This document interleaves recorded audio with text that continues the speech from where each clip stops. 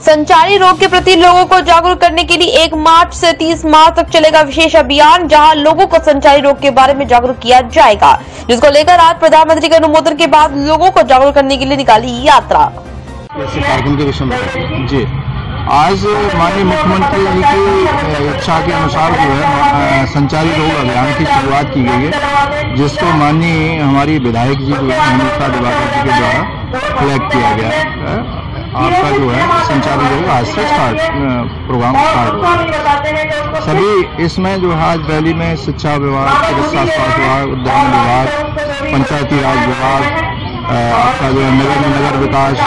तो कुल मिलाकर के ग्यारह विभाग सम्मिलित हैं जो पूरे माह जो है अपने अपने विभाग से संबंधित गतिविधियाँ करेंगे और गतिविधियों पर निगरानी हेतु जो है डब्ल्यू एच ओ यूनिसेफ और पाक जैसी संस्थाएँ और विभागीय अधिकारी भी जो है अब, इनकी मूल्यांकन और उनका अनुसरण करेंगे पूरे माह जो है साफ़ सफ़ाई की व्यवस्था इस की व्यवस्था रहेगी फॉगिंग है एंटी लार्वल है इसका भी पूरा प्लान चलाया जाएगा क्षेत्र में भी ग्रामीण क्षेत्रों में ग्राम पंचायतों द्वारा और शिक्षा विभाग के द्वारा जो है बच्चों को एजुकेट किया जाएगा किस प्रकार से लोग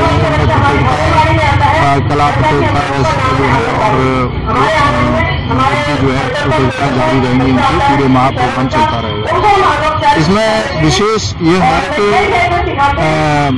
जो संचारी रोग हैं, वो एक दूसरे से भी फैलते हैं और गंदगी इसका मुख्य कारण होती है।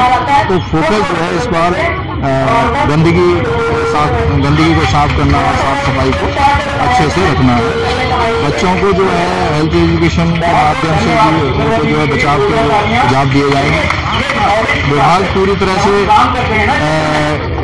अभी इसमें इसके बाद जो है 10 तारीख से 24 तारीख तक दस्तक अभियान चलेगा जिसमें जो है आंगनबाड़ी और आशा जो है प्रत्येक घर पे जाएँगी और घर में जा करके अ, ऐसे बच्चे जो बुखार से पीड़ित हैं अथवा जो है जिनको खांसी और टीबी की शिकायत है, या परिवार में कोई नया जन्मा बच्चा है या किसी किसी परिवार में किसी की मृत्यु हुई है तो उसका जन्म पंजीकरण की कार्रवाई भी की जाएगी। जी आज का कार्यक्रम विशेष संचारी रोग अभियान का जो शुरुआत हो रही है एक तारीख से उसके लिए रैली का था जन जागरूकता रैली जिसमें माननीय विधायक महोदया श्रीमती हेमलता दिवाकर जी ने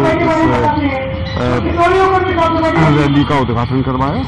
और काफ़ी लोगों ने बड़ा उत्साहपूर्वक इसके अंदर पार्टिसिपेट मतलब भाग लिया।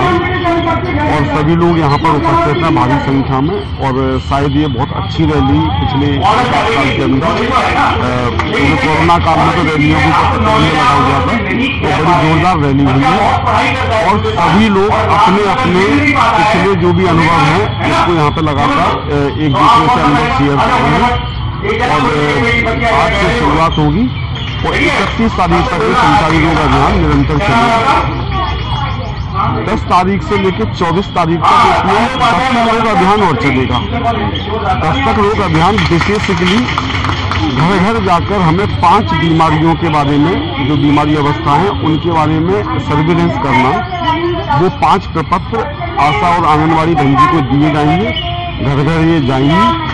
कि कोई बुखार का मरीज़ तो नहीं है कोई टीबी के लक्षणों का मरीज़ तो नहीं है कोई कुपोषित बच्चा तो नहीं है कोई मानस मानसिक बुखार की वजह से विकलांग दिव्यांग जो बच्चा हुआ है ऐसा कुछ है उसे किसी अ, देख रेख की ज़रूरत है ऐसा कोई बच्चा तो नहीं है। ये सारे प्रपत्र भर के संबंधित विभागों को भेज दिए जाएँगे और फिर वो इस बीमारी की पहले तो ये देखेंगे कि जो बीमारी इससे संबंधित है या नहीं है तो उसका उपचार करेंगे, उसका निदान करेंगे। लेटेस्ट खबरों से जुड़े रहने के लिए देखें हमारा यूट्यूब चैनल। करें लाइक शेयर सब्सक्राइब